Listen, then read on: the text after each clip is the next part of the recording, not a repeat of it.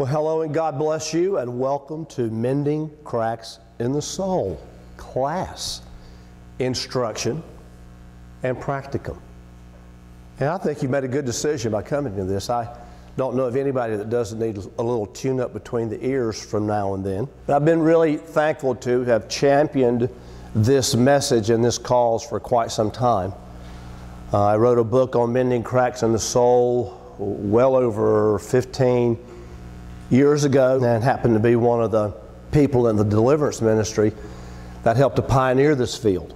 And I'm very thankful to be able to present this to you in video form today. We have it in book form and everything else. But if I'm not a better man today than I was 15 years ago, then I'm in bad shape.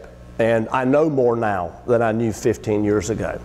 And I can teach this better now than I could teach it 15 years ago. And I'm excited to be presenting it new and afresh on video, Eva, so that you can enjoy this.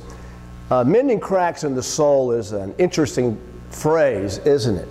And I immediately am drawn to the word soul, but I'm also thinking about mending cracks. We're talking about what mending cracks in the soul is. It's, it's memory healing in one regard. It's how the Holy Spirit works to help us deal with the issues of our past. It's also what's called inner healing because we have issues in our minds that need to be healed in certain areas. Not always, if, if you have a crack in one area of your mind, doesn't mean that you're completely an invalid. Uh, as I've been happy to say recently, I might be an invalid, but I'm not invalid. but anyway, you're not an invalid in your mind because you have a crack there. And this is what this class, this instruction is about, is identifying the cracks in our soul, how to fix them, and how to keep them fixed. If you had a crack in your teapot, or a crack in your manifold in your car, then you need to get the crack fixed because cracks is where the issues leak out of. The vacuum pressure in your car or the tea in the teapot. And the same thing's true with our minds when we have cracks in our soul. Faith leaks out. And we continue to put faith in it and it leaks out and we don't understand why that we can't build a reservoir of faith and it's because there's a crack in our soul. And we want to learn all about these. A number of years ago, I first heard about memory healing or a ministry of the Holy Spirit to heal cracks in the mind. I was dubious, skeptical of the matter. And I'll never forget, I was collecting um, Osage orange thorns to make crowns of thorns uh, that I did one year for holiday gifts.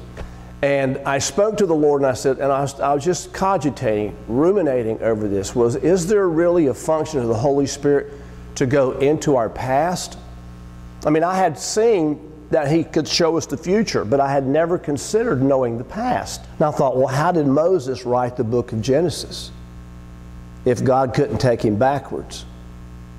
And how did Luke write the book of Acts if God didn't take him backwards. And I said to the Lord, I said, I don't want to, as a teacher in the body of Christ, I don't want to be majoring in the minors. And I also don't want to be minoring in the majors. And if this is a major deal, how about you showing this to me in the Bible? I mean, he's my master, right? So, I mean, and I said, I'd prefer to not have it in some minuscule place like the book of Colossians or, you know, the book of Hesitations. I meant to say Galatians, Galatians or Hesitations. My favorite two books of the Bible. And so he spoke to me in such a clear, audible way, and he said to me, he said, Well, is Luke 4:18 good enough for you? And it slammed me. And, and I've done my Bible memory verses, and I know that Luke 4.18 is Jesus Christ's ordination prophecy that was quoted out of Isaiah chapter 61 and where it says, The Spirit of the Lord is upon me because he has sent me to heal the brokenhearted. And this is what we're talking about relative to biblical evidence of this existing. Because, look, I've been involved in charismania for a long time. You know, I've seen everything from gold teeth to gold fillings to angel feathers to, you know, and who knows about extra biblical manifestations. That's not my job to judge them. I, am a fruit inspector, not a judge. But when it comes to this subject of memory healing, uh, I want to make sure that I am in the Bible and on firm footing before I begin introducing anything like this to the body of Christ. If you didn't know this, one of the reasons it shut down the Azusa Street revival in the early 1900s was they brought a hypnotist in and was showing people how to hypnotize others and was doing it under the guise of the Holy Spirit. It led to a bunch of intercessors to pray to shut it down. And so there is a responsibility of being a teacher in the body of Christ. And James chapter 3, verse 1 says, Be not many teachers, knowing that you shall receive the greater judgment or damnation. But majoring in the majors. And so when we go to Luke 4, verse 18, it says that Jesus came to heal the brokenhearted, and he came to preach deliverance to the captives, deliverance to the captives. Now, that doesn't mean you only preach when people are in jail. And when people are captured, this means they need to be delivered. And they're captured many times by their past. And the Bible tells us that we're to reckon the old man dead and to live in the new man. That old things are passed away. Behold, all things are become new. But then some of us sometimes have issues that continue to erupt and emerge from our past. And this is why we're doing this to deal with this. And we're looking at the biblical evidence, and then we're going to see how these cracks are fixed. But we're seeing here that they are fixable. The recovering of sight to the blind, I have a whole section in our class talking about this. It's not talking about healing blind people physically because it's recovering of the sight to the blind. I'll tell you more about it later. But I'm just letting you know that this is a major truth in a major place. And to set at liberty those who are bruised or crushed, or will see the root word means traumatized as we study this. And Jesus wants those people to set, be set at liberty. Remember, the Bible says that the Spirit of the Lord was upon him to do this. Well, now he is manifested through and in us. And so when the Spirit of God comes upon you, you are here to heal the brokenhearted, to set the captives free, to preach deliverance to the captives and the recovering of sight to the blind and to set at liberty those that are bruised and crushed. I wonder how many people sit in a church meeting and are just absolutely miserable in their mind. And how many of them actually hate themselves or don't like themselves or judge themselves so severely and so critically. And the reason for this is what we're dealing with. And Jesus came to the world to heal this. And I'd like to tell you that the ministry of Jesus is very much alive today because of the omniscient plan of God that He sent His Son into the world and that Him dying and being raised from the dead and sending the Holy Spirit replicated Him in power. And had the princes of this world known this, they would have never crucified the Lord of glory. So, first of all, let's get the cracks healed in your soul or let's get the crack healed in your teapot. Okay? But then this is the same process, same principles that will help others in the same way. Now, to heal the brokenhearted, I want to tell you what happened to me just recently. I recorded this class two and a half years ago, with Break the Gray Ministries and the Sunflower Ministries in Michigan. And we were very, very excited about it. They have some of the greatest interns, and they're praying for us this weekend as we're filming this anew. And we really got the filming stolen from us. It really was a theft. And it just bothered me badly for two and a half years. And not that I had it stolen from me, but that the people that needed to be delivered were not going to receive this. And there's, I have no idea how many thousands of people that will see this through Break the Gray Ministry, and we bless them in Jesus' name. But I'm this way, okay? It's not, it's not a smart thing for the devil to make me mad. And when he does, he pays. And I've got a vendetta that I'm settling against him now for several things. And I know that vengeance is mine, I will repay, saith the Lord, but he works within me to repay. And he stole the word of God from us for two and a half years. And so I said, well, if you're going to do that, I'm bringing it back in spades.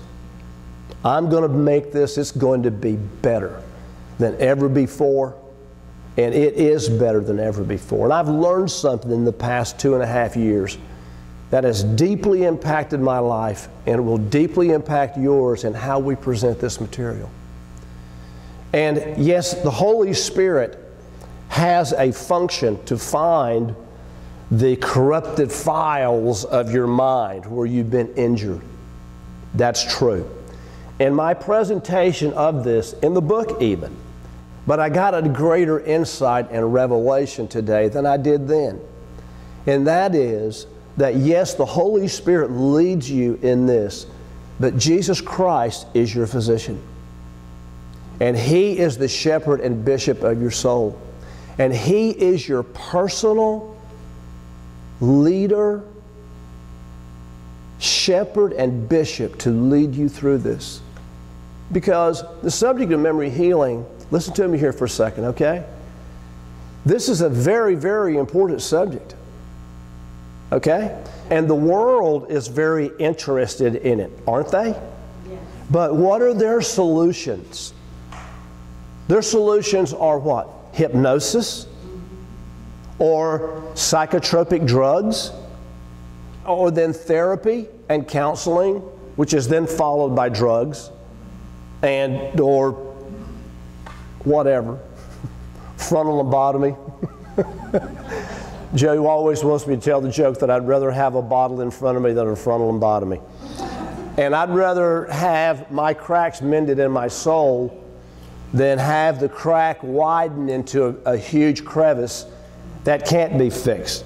And when cracks widen into crevices, it's because demons get in and part them to the end that people have a very difficult time reconciling the pieces that have been left after demons have shattered. Let's nip it in the bud, right? But we're going to talk about the world's remedies in this and what ours is. The Holy Spirit has a, a, a function to find the dysfunction. John 14, 26 tells us that it calls things to our remembrance.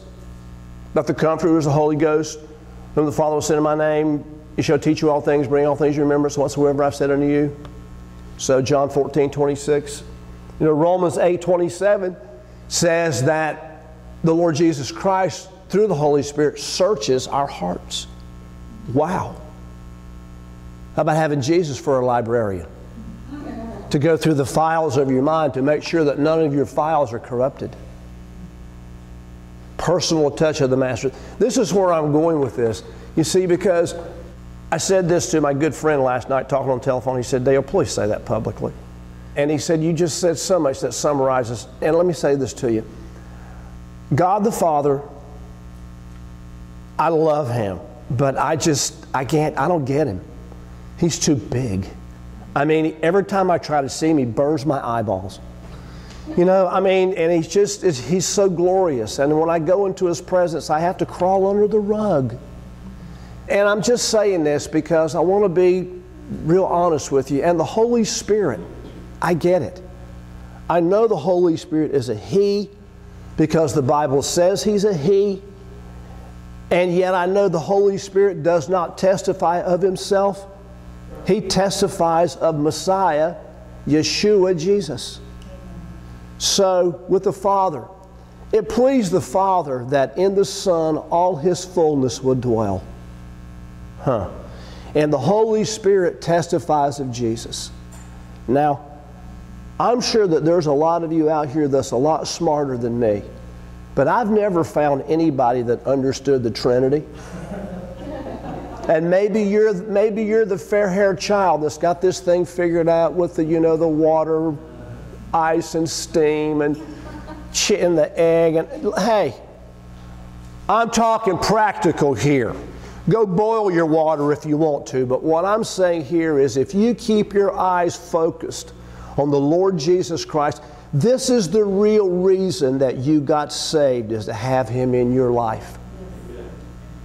I was severely, extremely persecuted for teaching on this at one time a fellowship with Jesus Christ. And the Bible says truly, 1 John chapter 1, verse 3, truly our fellowship is with the Father and with His Son Jesus Christ. And what I want to do is teach you these principles, not just a process, but these principles whereby He can personally lead you in this healing. And here, as before, uh, I just said, well, the Holy Spirit will do it. Well, let me tell you something. I've learned since then Jesus is the shepherd and bishop of our souls. He's the physician, and He's Dr. Jesus, and He's the one that personally will lead you through this. The reason I say this is because there are charlatans in the world that are operating some of these principles. For example, we want to get over this. And to get over this, not only do you have to have the crack fixed, but you need to get a new image in your mind. And New Age people are teaching this. But they got it out of Romans chapter 12, verse 2, to be transformed and to get a new picture. And there, there are New Age people that are teaching this. And they're, they're believer, Christian believers that are teaching this. And I thank God you know, where Christ is preached even in pretense. And I'm not trying to make a case that what I'm presenting is better than anyone else's presentation. I'm simply trying to present a case that the Lord Jesus Christ Himself, as He's been replicated through the Holy Spirit in you, will personally lead you in this ministry. And I've shown you in the Bible already, it says that He came from heaven to earth to show the way. Right? To heal the brokenhearted, to preach deliverance to the captives.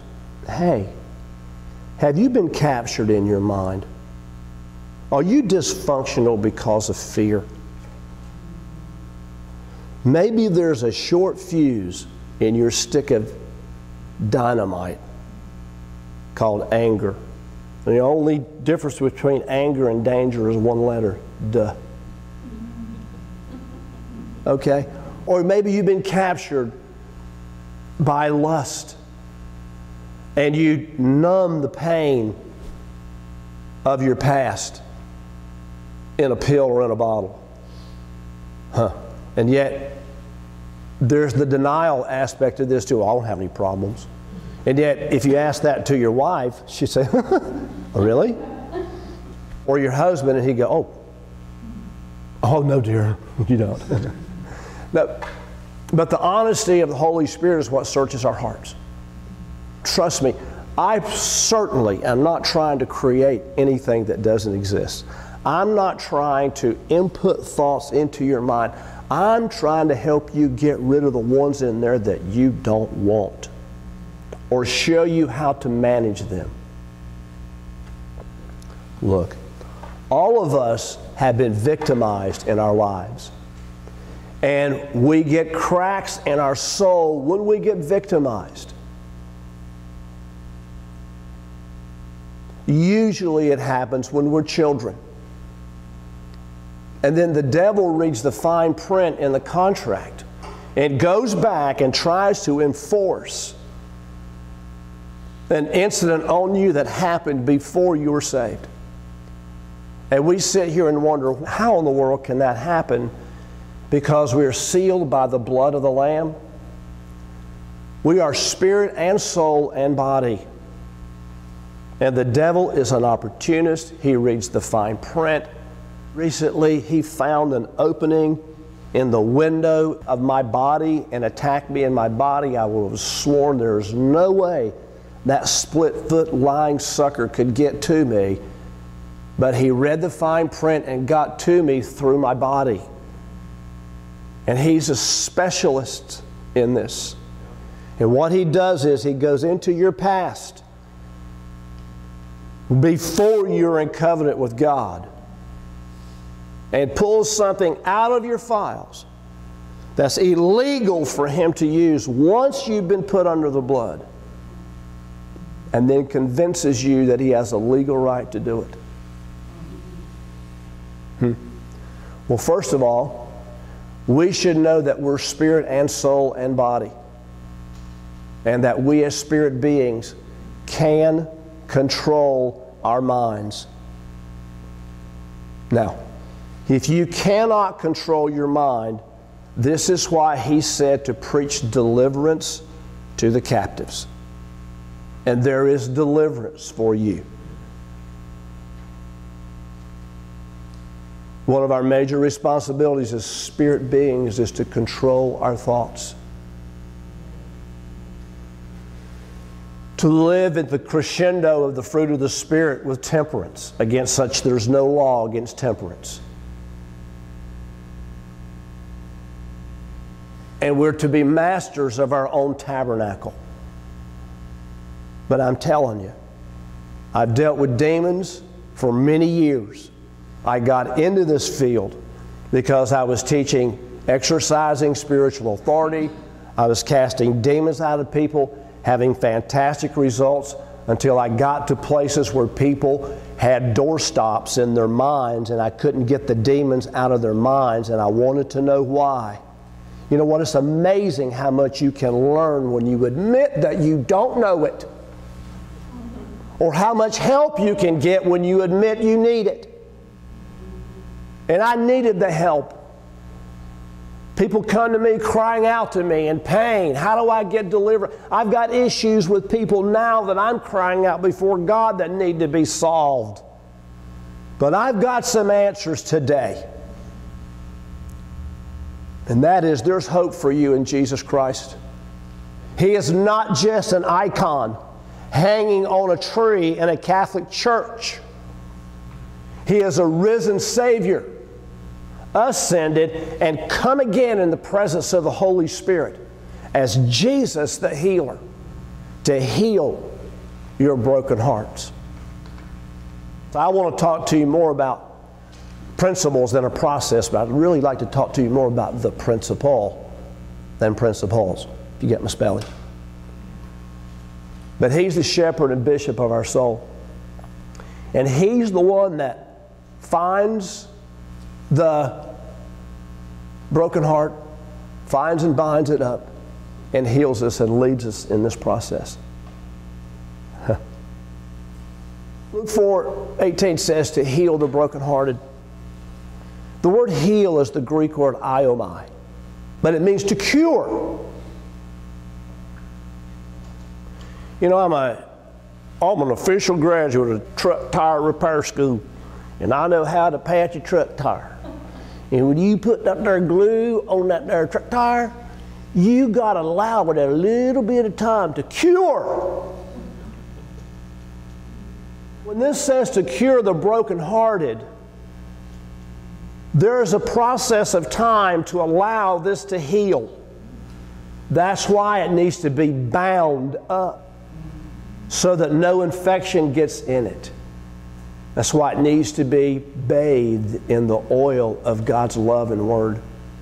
But I'm telling you, you're in a good place.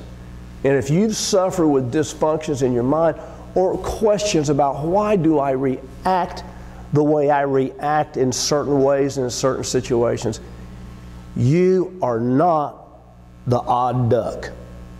You're just a duck just like the rest of us that are quacked up, right? We all waddle. I mean, you know, we all quack, right? We all have issues in our lives. But the ones that are humble enough to admit it will be the ones that'll get over this and get on the other side of it. Jesus called you to be functional and not dysfunctional. Remember here, okay? You got biblical evidence that this is real. And we're looking at the fact that Jesus Christ Himself, Christ Jesus Himself, leads us through this ministry through the power of the Holy Spirit. The blood that Jesus shed out of his brow when he sweat droplets of blood, nobody touched him for that bleeding. No one beat him. It all came from the inside mental duress and pressure and stress of the worry of dying, or maybe the worry of not fulfilling yours and my redemption. Maybe that's the pressure that was ca- that caused him to sweat droplets of blood. No one touched him. He sweat droplets of blood because of the mental anguish that he had. Huh. I was studying mending cracks in the soul. I had a parallel study going on in the subject of perfect redemption, the seven ways that Jesus bled. One of the ways he bled was he bled out of his brow. Hematidrosis is the terminology. He actually sweat blood because of his mental problems. He shed that blood for you to be healed of your past dysfunctions. And so that you could be mentally a giant for him in the kingdom. Amen. No reason for any dysfunction in the past to control us, but just remember, He is the shepherd and bishop of our soul. He is the one that leads us in this ministry. And He is the one that will personally usher you in this. We're going to have a great ministry here, but even more so, He goes home with you, and we're going to prepare you to be ready for this ministry anytime He chooses to use it and sees that you need it to have the cracks in your soul mended. That's what this is about. Mending cracks in the soul, healing the brokenhearted, inner healing, deliverance. We want to get over it and get on with being like Jesus.